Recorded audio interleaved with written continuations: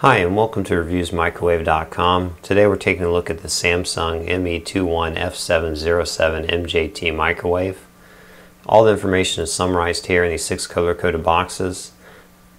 If you'd like to see the full written review, this will just be a quick video overview. Please click on the link below the video. Now this is a conventional type microwave. It's over the range at 2.1 cubic foot of capacity.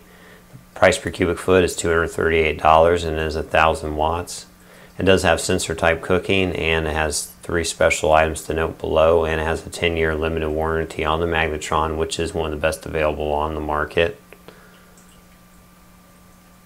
Three of the uh, features to note here does have stage type cooking, keep warm, and non-stick interior.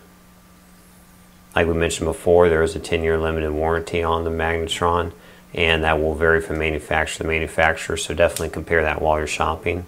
There's additional specifications down here below if you'd like to take a look at those through the written review below the video. Click on the link there. Also, if you go to the homepage, we do have over 800 other reviews on the website.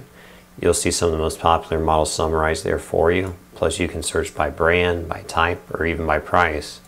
If you have any experience with this model, uh, another Samsung, or any other brand, I'm sure other people would appreciate you to leave them a comment about your experience.